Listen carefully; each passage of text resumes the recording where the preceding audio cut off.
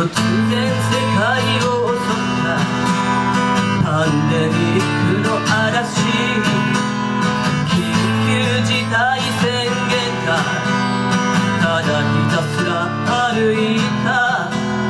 どこもかしこも息を潜めだけどシャッターのいたラーメンや若い男の歌う声がした叫ぶよ。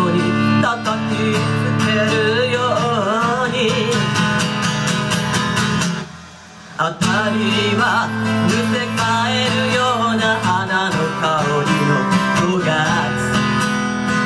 突然檻に閉じ込められた。若い獣の叫びありふれた。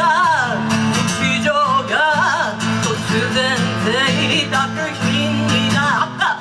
固く抱き合った。まま花になる君との愛の夢のまた夢。私はひたすら歩いた。ただ一人歩いた。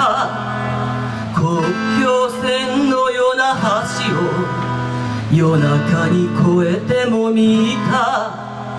誰も彼もが殻にこもりだけど人に会いたく求めてる。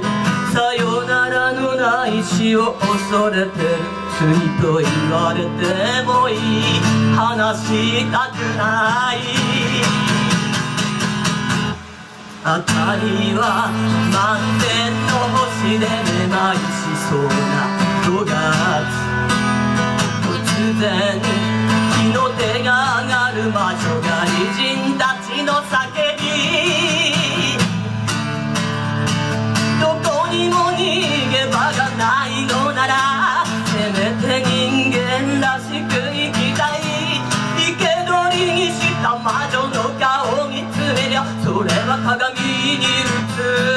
自分じゃないか。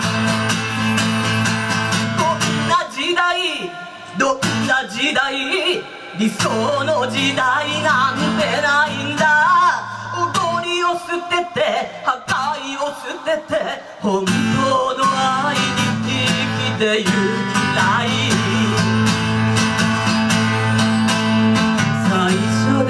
最後の歌を歌いたい。